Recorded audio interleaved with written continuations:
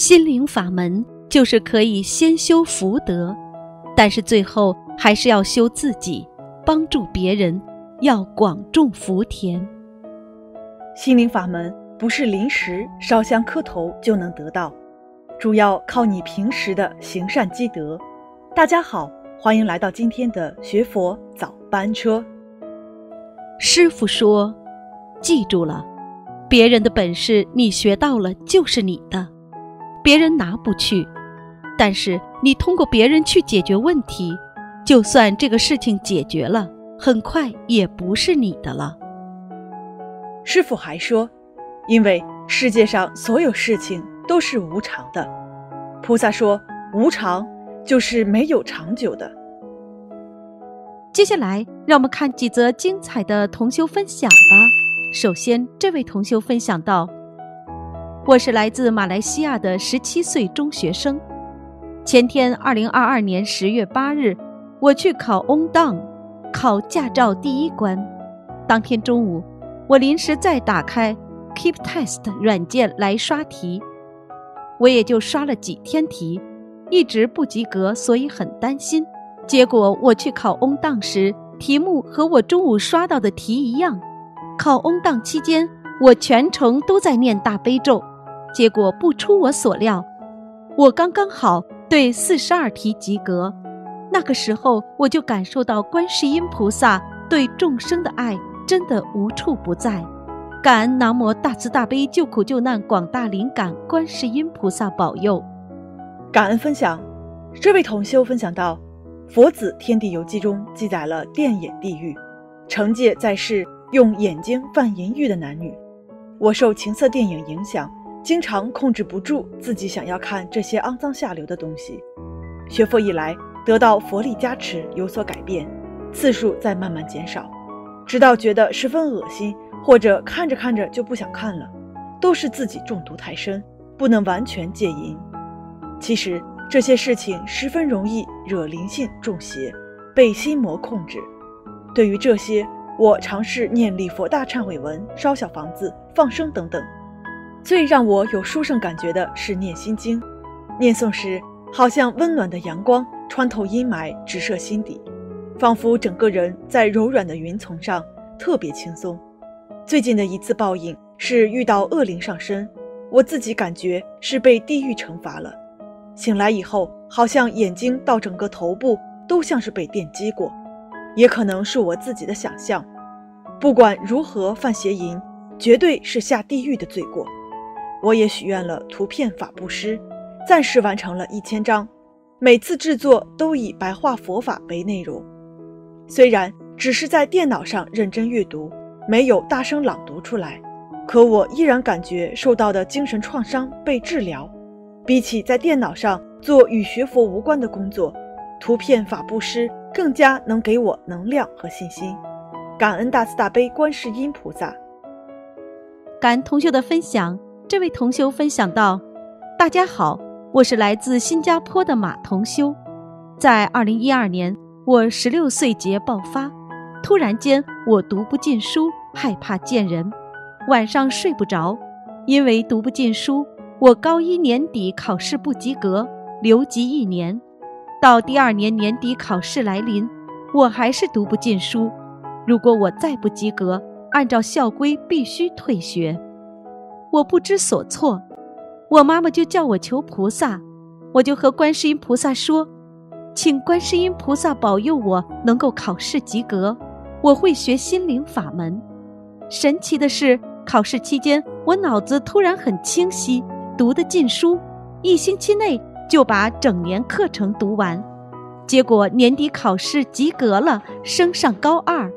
就这样，我开始学心灵法门。那一段脑子清晰的日子并不长，考完试后，我的脑子又变回糊涂。但至少我每晚睡得着觉了。我因为脑子不好，学不会心灵法门的基本道理。我每天只念妈妈教我的七遍大悲咒、七遍心经、三遍礼佛大忏悔文。我没有念小房子，因为我的杂念不断，无法集中精神念经。我以为这样念小房子属于乱念，会下地狱，所以不敢念。事实不是这样的，杂念多更需要念。从二零一四年到二零一八年，都是我妈妈念小房子给我，所以我没有大改善，自己的业障还需自己还。到了二零一八年，我看这么久都没有彻底康复，我才开始自己念小房子。我看师傅开示，我的症状好像跟自闭症有关，通常要八百张小房子以上，所以我许愿念一千张小房子，一年念完。第一个月我念得很努力，每天三至五张，我也慢慢感觉到效果。可是到了春节的时候，我就懈怠看电视剧，估计要经者很急，看我不好好还愿，一星期后我情况急转直下，脑子控制不住浮出不好意念，自言自语，念经速度很慢，吃力，时常做噩梦，浑身无力，功课每天都勉强完成。念小房子非常吃力。后来师傅在综述节目二零一九年六月十一日给我看图腾，说我身上有三个要经者。我很后悔没有好好念经还愿，弄到我这样的田地。到现在已经四年了，我念经速度有改善，一天最多念两章，但还是很慢。我只能尽力学师傅教的道理。自己做得到的就做，希望我以后会好起来。感恩分享，这位同修分享到：感恩菩萨，感恩师傅，感恩菩萨帮助刚到他国工作的侄女儿拿到批准工作证的文件。由于到另一个国家打工需要住屋许可证明，所住的房子必须符合相关部门的条例，在现在居住的屋子无法完全符合要求，许愿如下：一。每天大悲咒七遍，心经七遍。二，每七天为侄女儿烧送三张小房子。三，转部分功德消业。四，拿到后现身说法。另外，每天为侄女儿念诵一遍礼佛大忏悔文。感恩菩萨慈悲，在今天十月三日拿到批准的文件。分享结束。如果有不如理不如法之处，请大慈大悲观世音菩萨慈悲原谅。同修自己的业障自己背。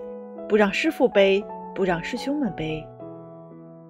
接下来，让我们一起来听师傅讲一个小故事吧。从前有一个富翁，他有三个儿子。在他年事已高的时候，这个富翁决定把自己的财产全部留给三个儿子当中的一个。可是，到底把财产留给哪一个儿子呢？富翁于是想出了一个方法，他要三个儿子都花一个月的时间去周游这个世界，回来之后看谁做了一个最高尚的事情，他的财产就归他继承。一个月时间很快过去。三个儿子周游了世界，回到家中，富翁把他们叫过来，来，你们三个人都讲一讲自己啊这个最高尚的一件经历吧。大儿子非常得意地说：“父亲，我在游历世界的时候，我遇到了一个陌生人，他十分的信任我，把一袋金子。”交给我保管，可是那个人却意外的过世了，我就把那袋金币原封不动的交给了他的家人。二儿子自信地说：“当我旅行到一个贫穷落后的村落时，我看到了一个可怜的小乞丐，不幸掉到了湖里了。我立刻跳下马。”从河里把他救了起来，并留给了他一笔钱。父亲听完大儿子和二儿子说完，冲着第三个儿子说：“孩子，你呢？”这个三儿子犹豫地说：“我我父亲，我没有遇到两个哥哥碰到的那些事情。在我旅行的时候，我只是遇到了一个人。”他很想得到我的钱袋，整天想弄我的钱，一路上想方设法的害我，我差一点死在了他的手上。可是有一天，我经过了悬崖边，我看到那个人正在悬崖边的一棵树下睡觉，可能他太累了。当时我只要走过去，轻轻的抬一抬脚，就可以轻松的把他踢到悬崖下。我想了一想，觉得不能这么做，正打算走，又担心他一翻身掉到悬崖，我就叫醒了他，然后继续赶路了。父亲，这实在算不了什么有意义的经历。富翁听完了三个儿子的话，点点头说道：“大儿子诚实，二儿子见义勇为，都是一个人应该拥有的品质，称不上什么是高尚。而有机会报仇却放弃。”反而去帮助自己的仇人脱离危险的宽容之心，那才是最高尚的。我的全部财产都给老三了。人生的最高境界，其实没有一个明确的定义，但是有机会去报仇而放弃。反而帮助你自己的仇人脱离危险的事情并不多，因为这是从内心散发出的真正的宽容和慈悲。做人应该做到这一点，你就是学佛的开始感恩菩萨，感恩师傅，在今天节目的最后。让我们再一起听师傅的几句佛言佛语：修行若要根基牢，五戒十善先做到。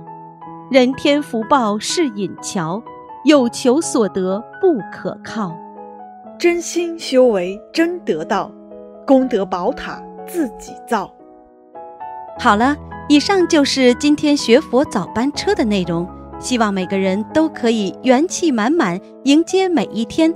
加油吧，学佛人！嗯，同时也期待明天同一时间与您在这里再次相会。